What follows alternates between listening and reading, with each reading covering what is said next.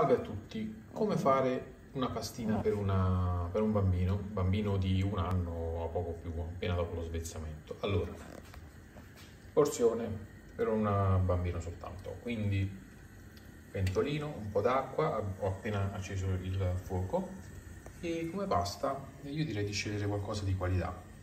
In questo caso sto scegliendo fra nuvolette di granuro cappelli, sempre meglio scegliere un grano di qualità. Evitiamo questi grani di importazione.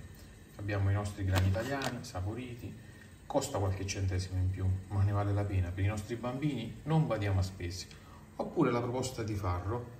In questo caso sto facendo i dubbetti di farro, piccoli corallini, corallini di farro si chiamano. Eccoli qua, peso 56 grammi, grosso modo vanno bene.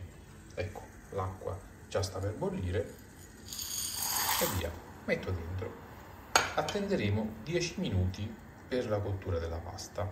Nel frattempo preparo il condimento. Giriamo di tanto in tanto per non far incollare i tubetti fra di loro.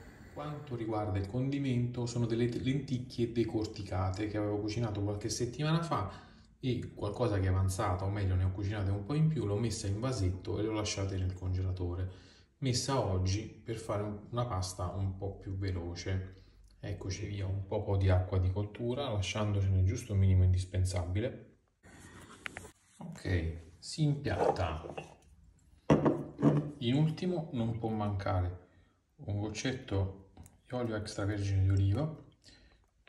Questo qui è quello appena prodotto di quest'anno, bello fresco e nutriente, biologico. Un cucchiaino di parmigiano e via.